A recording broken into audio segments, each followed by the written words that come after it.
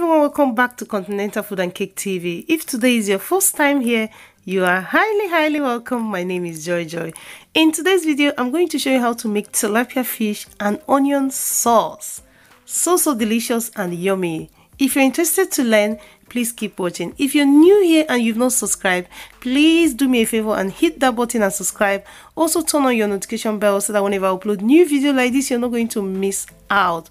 Share with your friends and family and also share my video on your social media. I will really, really appreciate that. Thank you as you do so. Let's start cooking. To make the tilapia fish and onion sauce, the first ingredients you're going to need is smoked tilapia fish. But I'm going to show you how to make smoked tilapia fish. And to make smoked tilapia fish, you're going to need fresh or frozen tilapia fish. But you have to wash this. I wash off camera to save time. Next, I'm adding half a teaspoon of chicken seasoning, half a teaspoon of four seasoning peppercorn, add some salt and mix together until it's well well combined it is very important that you season your fish before putting it in the oven so that when it's in the oven smoking the fish is going to absorb all the seasoning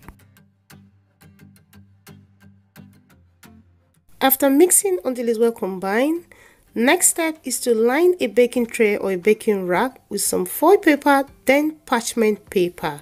Please remember the parchment paper has to be on top. Then place the tilapia fish on top. And after placing on top, next step is to transfer to a preheated oven 190 degrees Celsius or 374 degrees Fahrenheit for at least 1 hour 10 minutes depending on how dry you want your tilapia fish to be if you don't want it to be too dry you can bake for at least 50 minutes. So after 1 hour 10 minutes this is the final result. You need to bake or roast your tilapia fish first before you move to the next step. Next ingredients you're going to need is onion. And for this recipe you have to use the white onion which I have 8 large white onion because the white onion has sweet taste it contains sweet taste. Then next i have scotch bonnet which i'm using a lot but you can adjust this according to your preference. Then i have bell pepper one red. Next i'm going to peel the skin of the onion. I know everybody know how to peel onion but i'm just going to demonstrate how to peel one. Then i'm going to peel the rest off camera to save time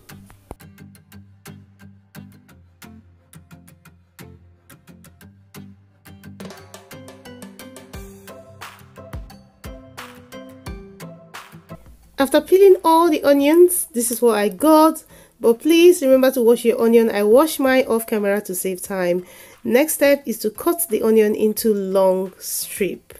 Also, it's very important that you cut your onion into the shape because if you cut the onion too small, small, uh, you won't like it. For this recipe, you have to cut the onion this shape. If you're not a fan of onion, please try and you know incorporate onion into your diet because onion is very good for the eyes, very very good for our body.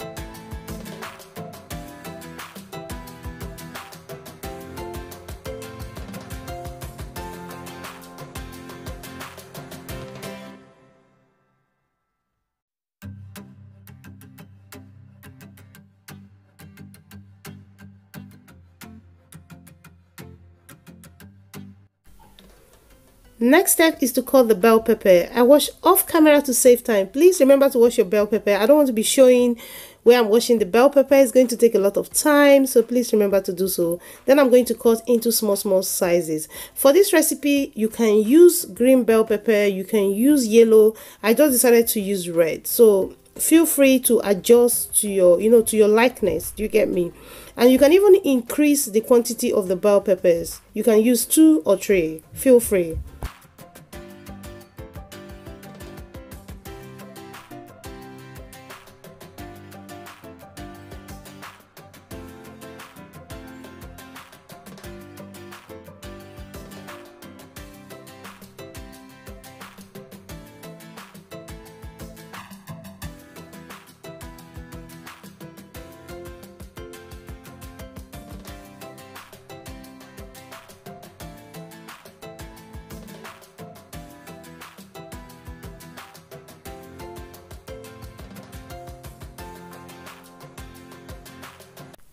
Next is to cut the scotch bonnet or call hot pepper or call atarodo in Nigeria.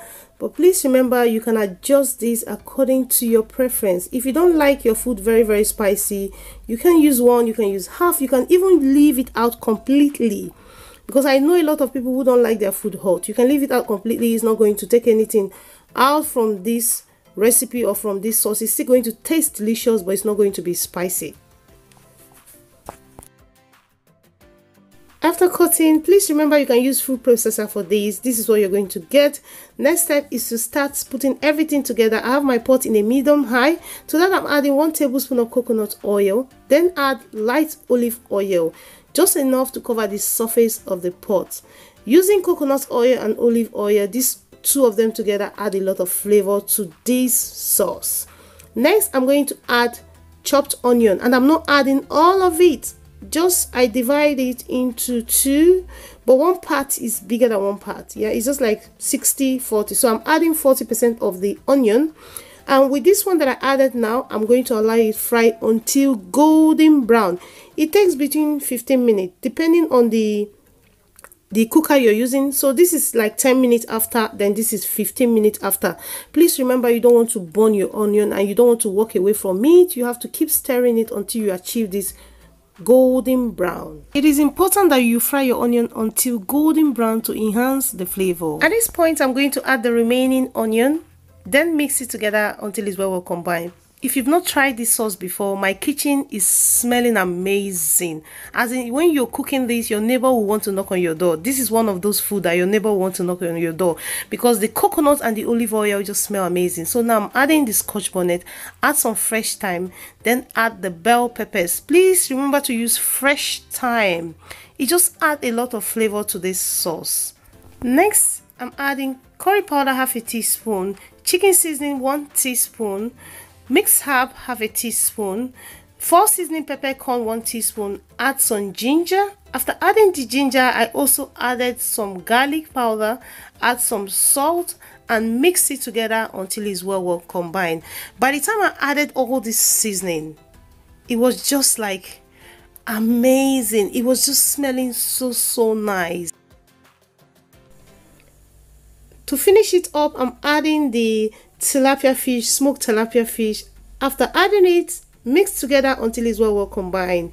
What i love about this sauce is that it's so versatile. It's just few ingredients. There's no tomato here just onion and peppers and a little bit of seasoning and this smell amazing.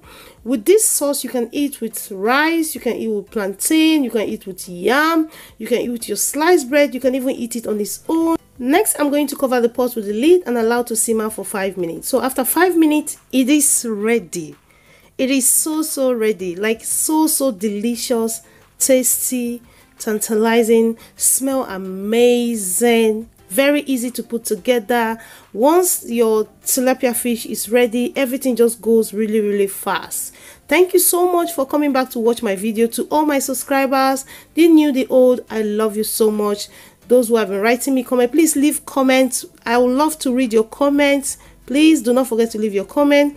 Give the video a thumbs up. Subscribe if you've not subscribed. This is continental food and cake tv what are you waiting for? Hit that button and subscribe. Share this video with your friends and family in your social media. I would really really appreciate that. Follow me on instagram continentalfood.cake i love you all and i will see you in another one.